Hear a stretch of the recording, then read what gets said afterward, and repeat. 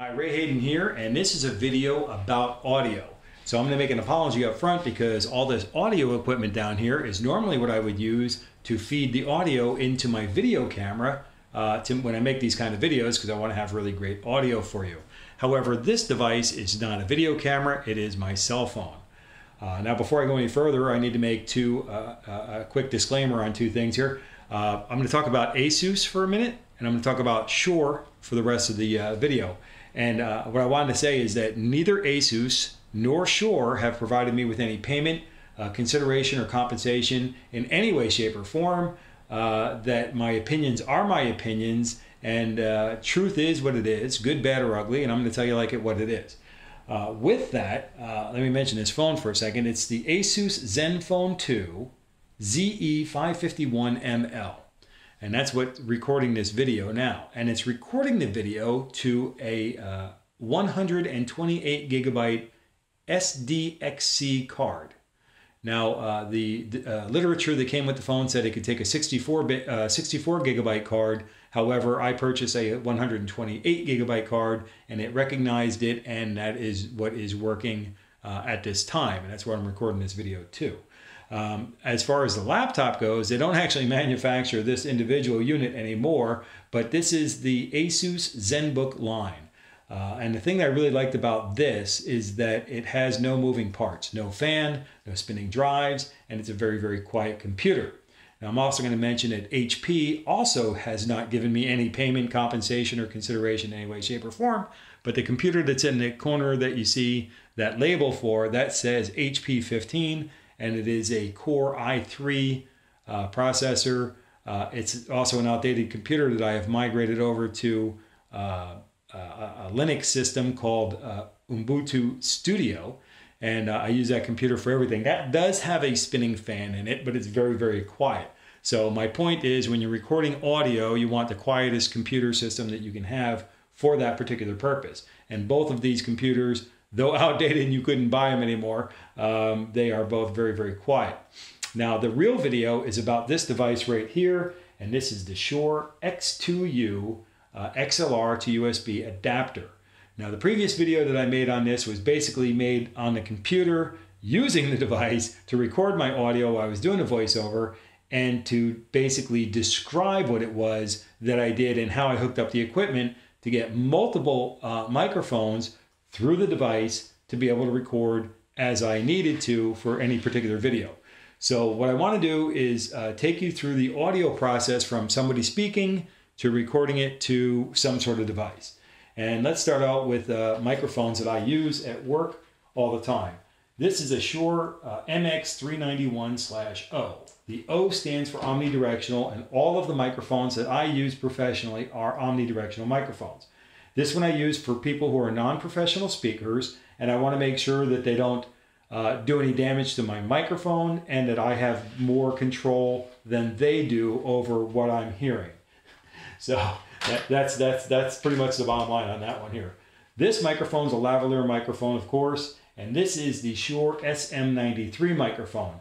I could try to read it off of the back of the microphone, but it also says the model number on, on that device that plugs into the uh, mixer but it's the SM93. This is an excellent. Uh, uh, it picks up uh, my voice very, very well uh, when I'm when I'm capable of using it. Unlike with this cell phone. Uh, the other uh, microphone that I have here, I will use it to um, capture audio when I don't want to have a microphone attached to myself, or if I don't want a microphone um, where I might touch it. I need to have the microphone elevated and kind of out of my uh, you know, out of my out of my way a little bit, I will actually hook this up to a microphone stand and hang it down like a boom mic a little bit. Uh, this is the SM63LB. Uh, now the L means that it has a longer handle to it, and the B just means it's black. So there's your inside uh, secret about the labeling of uh, the microphones. Now what I really want you to notice is that here's a boundary microphone, here's a lavalier microphone, and here's a handheld microphone. These two microphones require phantom power of course, this one does not. Um, there are different microphones and there are different types of microphones and they're for different purposes. However, if we wanted to use all three of these microphones at the same time while we're recording our audio to our computers uh, through the X2U, we can do that. Uh, the only thing is we need a microphone mixer in order to get the job done. And uh, what we do is we connect our microphones to the mixer, and the mixer, uh, this particular one happens to be the Shure SCM268. And the reason why I love this mixer is because it is almost bulletproof. Um, you really don't want to be driving down the street and hit one of these things in your car. They're very, uh, very tough. They're not very heavy, but they're very well built. They also have excellent electronics in them to get rid of some unwanted sounds from frequency problems and things of that nature. And it also provides phantom power to the microphones that need it. So with that, I'm going to turn off the phantom power on the X2U because it is not required. As you can see, the light up here continues to flash. Now let's go ahead over, um, let's just recap, the, uh, re recap that real fast. The speaker speaks into the microphone. The microphone is connected to the mixer. The mixer is connected to the X2U device. So multiple microphones into one device, and we have it right here. We also want to be able to monitor our sound to make sure we have, I'm going to turn that back on for a second, I'll come back to that. Uh, we also want to be able to monitor our sound to make sure we're doing well with that. So the X2U device has a microphone, uh, headphone input option right here. So any any microphone that you have that has the mini plug, the 3.5 millimeter uh, uh, plug, you can put right there on the jack, and you can listen and monitor the sound while you're recording it. The lowest light on the unit is the USB power light. As long as this is lit, you know the power is going up the unit. And uh, the second light, the orange light here, is the phantom power light. When this is activated, it is providing phantom power to your microphones. You don't need it in this case because the microphone mixer is providing the phantom power, so I'm going to shut it off.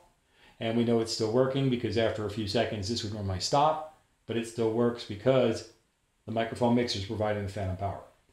And of course, the top is the XLR connection, which goes out to the mixer.